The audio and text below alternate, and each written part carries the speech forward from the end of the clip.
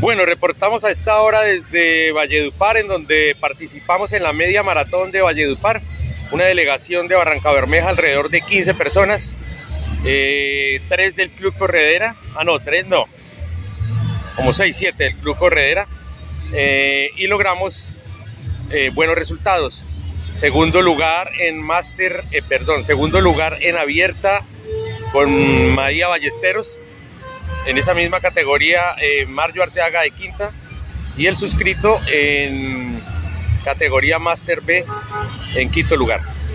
Bueno, este es el preámbulo de la carrera de Barranca Bermeja en el calendario nacional del atletismo.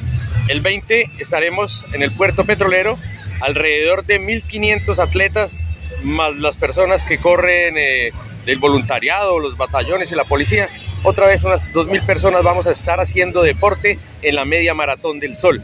Recuerden que vamos a tener cierres viales, entonces no se pongan bravos, los invitamos a hacer deporte, esto es una sola vez al año, eh, de 5 a 9 y media, mientras algunos todavía están durmiendo, nosotros vamos a hacer deporte. Los invitamos a que apoyemos a todas las personas que vienen de afuera, vienen campeones como Jason Suárez eh, y otras atletas como Stephanie López, Kelly Arias, bueno, va a estar sabroso, va a estar muy bueno. Nos vemos entonces el 20 de agosto en eh, la media maratón del sol.